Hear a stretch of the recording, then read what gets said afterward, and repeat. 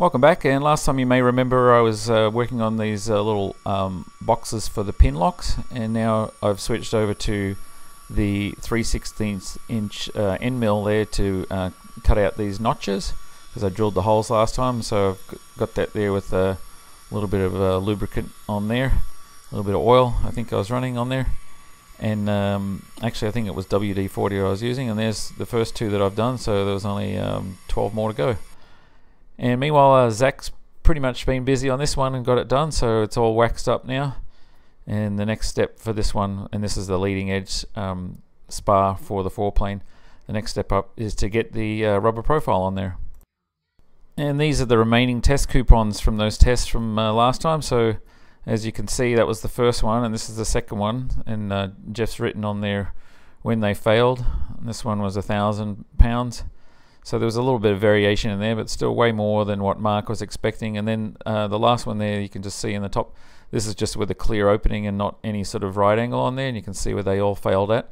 And uh, so Mark was super happy with that. And just uh, so you know, it was basically a layup there, nine ninety thousandths thick, which in our world is basically three of our heavy plies that we lay up there. So that worked out well, and uh, everything's really good with those results. So further along here I've got the notch uh, drilled out or cut out and then these two larger holes also I used the 3 16 inch mill just to run a little circular path around there to cut those out. And so I've done um, most of those ones with that now. And uh, next thing up was uh, using the reamer um, to make the hole nice and smooth because I undercut them on the machine and then come back with the reamer and actually just do a nice job because we've got a, a little bearing sleeve um, sort of you'll see it's a little stainless sleeve that we had made a while ago that goes in there for the pin to ride in. So if there's any wear in the lock you can just replace the little sleeve.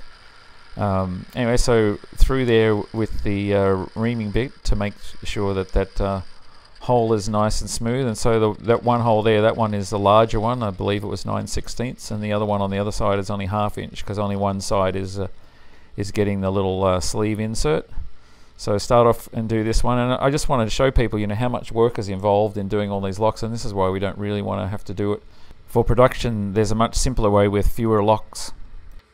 And there's the little sleeve that we had done a while back, uh, had machined by um, a third-party shop, and uh, so that's a little stainless sleeve, I believe, is what we got.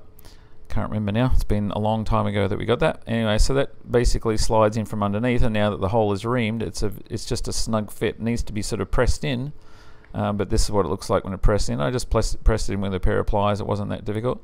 And now I'm coming back through with the half inch bit and actually going to ream that as well so we have a really smooth fit even inside that and the reamer is going to go all the way through to the bottom hole as well so the pin will actually slide in that one insert and then through to the other side with a nice smooth action that's uh, you know being facilitated by running the reamer all the way through. And as you can see, again, a lot of work and you need to multiply that by 14 for every aircraft. So this is why I really want to go with a clamshell door that only really would probably only have two maybe three locks at most. And the rest just two hinges on the top and two on the bottom. So anyway there you can see I've run the reamer all the way through to the bottom and just running up and down a few times to make it nice and smooth. And finally there's our Loctite that we have um, in a little tube that it came or a little container. And there's the sleeve in there inserted.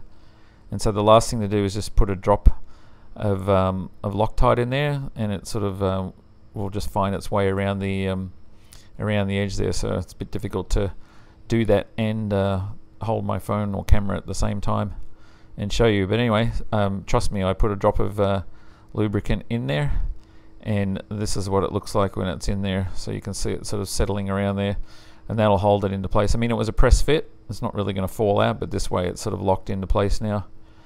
So those are all done now, and uh, the next step is um, to get the little internal bits uh, welded up, and that's what I'm waiting on uh, for Brit to actually do. And this is kind of what the finished product looks like now. So got the little smaller hole there on the one side, and the other holes that are uh, for mounting, and then that hole in the middle there on the left, that's to actually put the little pin through that is going to hold the internals um, around this actual slide pin here, where you can see the little hole in that pin.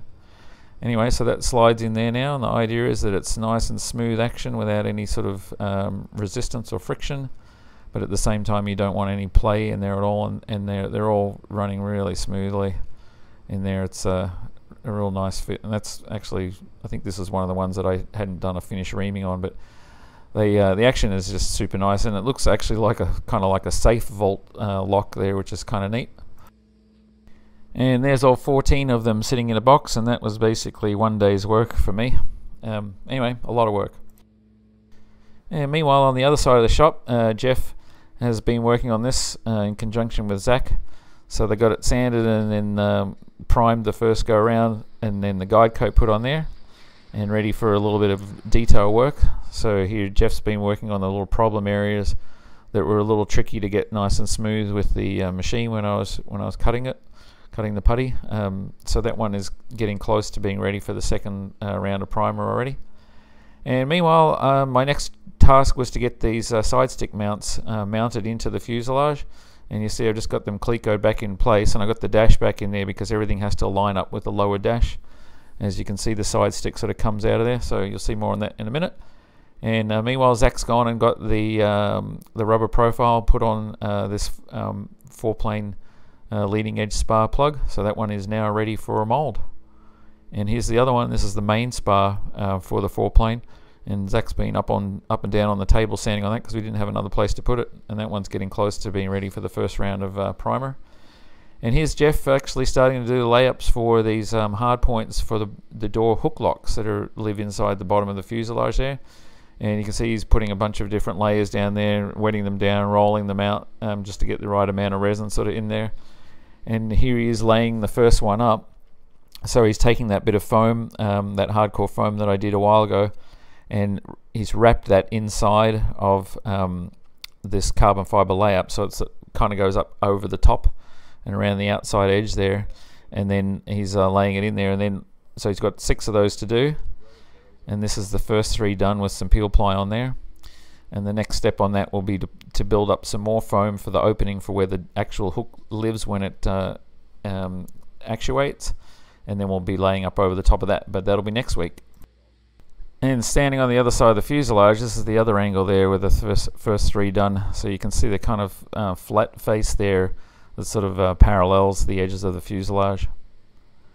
And here Zach is uh, working on getting this one finished. So it's now had the second coat of primer on there and guide coat and after he finishes sanding that uh, it'll be ready for waxing